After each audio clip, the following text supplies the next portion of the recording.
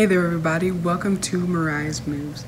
This week, our mini Bible study verse comes from Colossians 3:12, and it goes like this: Therefore, as God's chosen people, holy and dearly loved, clothe yourselves in compassion, kindness, humility, gentleness, and patience.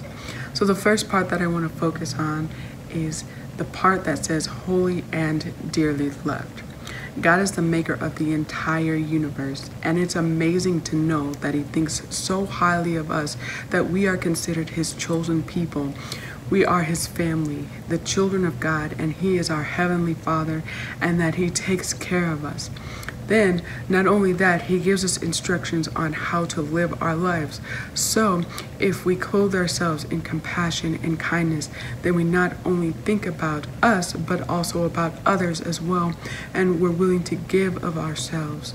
Then it says humility. So, after we think of others, after we, you know, share our love with others, then we're humble about it. We don't boast in the achievements that we have or what we've done, but we let it speak for itself. Then gentleness and patience. Okay, if you're gentle and you're patient, then you have the ability to be calm and have that light that other people need to see. They don't see the harshness, the boldness, the brashness that just turns people off and the patience to like to listen and to understand is huge guys. So this verse is really important to understand and to really absorb into our spirit because first of all god loves us day in and day out and two, we can also emulate him, be kind, compassionate, like humble. We could be gentle. We can be patient with others. And that is Christ like, God like behavior, which we are supposed to do and supposed to share with others so that they can see the goodness of God.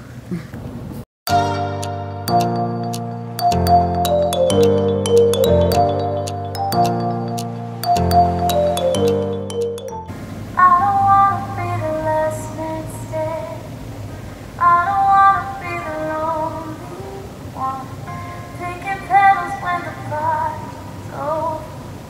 No, it's not any fun, cause I